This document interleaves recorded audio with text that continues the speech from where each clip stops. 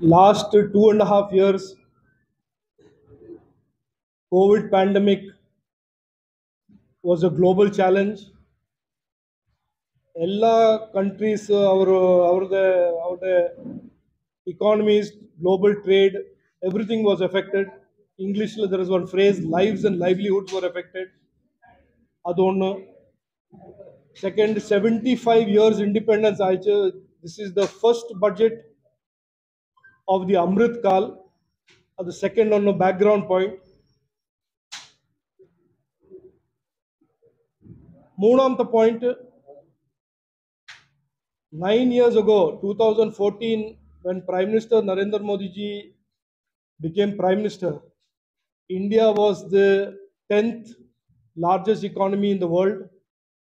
2022, we have become the fifth largest economy in the world.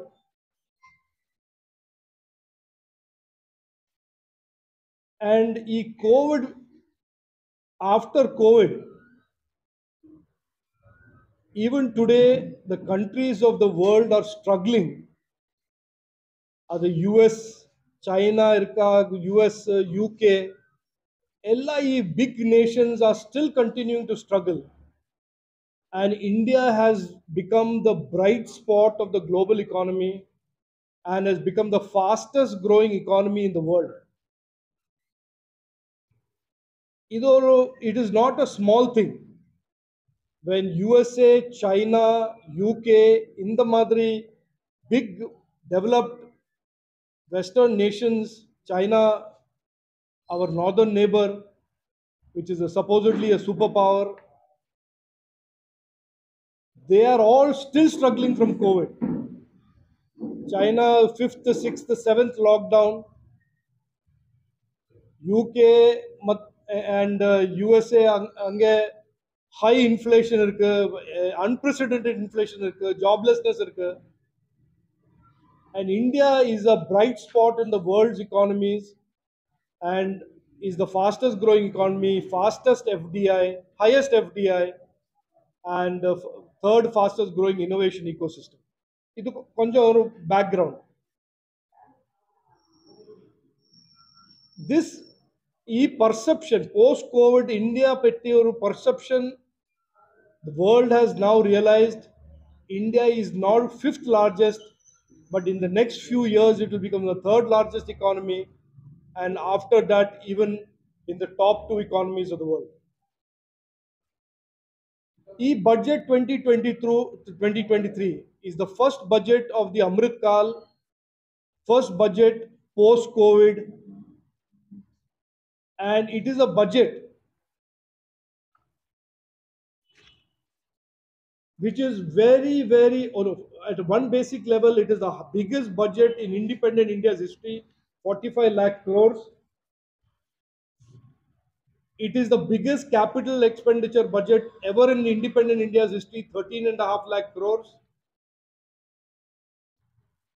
And it is a budget which is public welfare pro poor budget.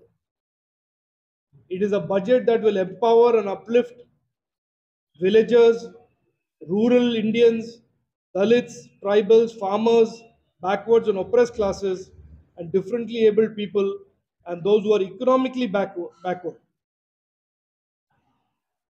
இப்பட்ஜெட்டில் rural development allocation இருக்கு agricultural development, labourers welfare infrastructure development நான் சொல்லியாச்சு 13 and a half lakh crores digital infrastructure development digitalization petty india he is now showing the world leadership அது கொஞ்சம் ஜாஸ்தி accelerate பண்ற and development of northeast and hilly regions of our country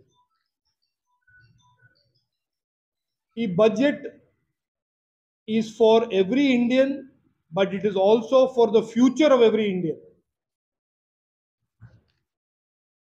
ಅಲ್ಲಿ seven priorities இருக்கு ಈ பட்ஜெட்ல ஒன்னு inclusive development எல்லாருக்கும் prime minister say Sabka Saath Sabka Vikas Sabka Vishwas அந்த மாதிரி inclusive development is one key area second Sabka Vikas means reaching the last mile through technology. மூணு ಈ 60 65 years india petti when people were talking they would say hey india live there is no india la- there is no modern infrastructure our narrative is being changed today with modern infrastructure development unleashing potential number 5 sustainability green growth with respect for the future youth power and financial sector இந்த மாதிரி seven priorities இருக்கு let me specifically today talk about two issues. One, digital digitization of our economy, digitalization of our economy. India has become the preeminent country in the world in using technology for improving people's lives.